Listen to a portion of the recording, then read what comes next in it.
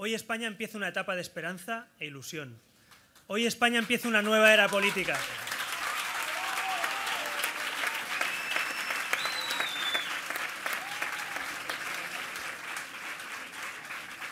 Y lo hace porque millones de españoles han decidido que este país va a cambiar, que ya basta de resignación, que ya basta de rojos o azules o azules o rojo, que España ha cambiado, queríamos que cambiara y esta noche ya hay más españoles que quieren cambio, ya más españoles quieren que hablemos, que dialoguemos, pero sobre todo que pidamos reformas y cambios. Se acabó la resignación, se acabó ver, ver desde el sofá de casa lo que pasa por delante. Ahora vamos a participar los ciudadanos españoles del cambio político de nuestro país. Y no solo lo vamos a hacer ya en el Parlamento de Cataluña, en los municipios o en los parlamentos autonómicos. Por fin lo vamos a hacer con 40 mujeres y hombres valientes que van a pensar en España.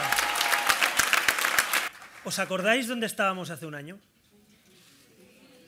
Hace un año, el 14 de diciembre de 2014, justo ahora hace un año, un partido autonómico que tenía nueve diputados en un parlamento autonómico, que tenía un 7% de voto en un parlamento autonómico en Cataluña, en mi tierra, decidió explorar una posibilidad, decidió pensar si la igualdad, si la libertad, si la unión, si la solidaridad también serían valores a poner de moda en toda España.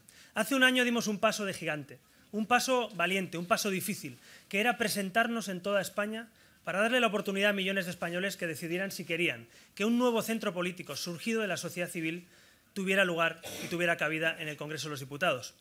Y mirad, desde entonces hemos visto que la igualdad se ha vuelto a poner de moda, que la libertad se ha puesto de moda, que los españoles también quieren que sigamos juntos y unidos.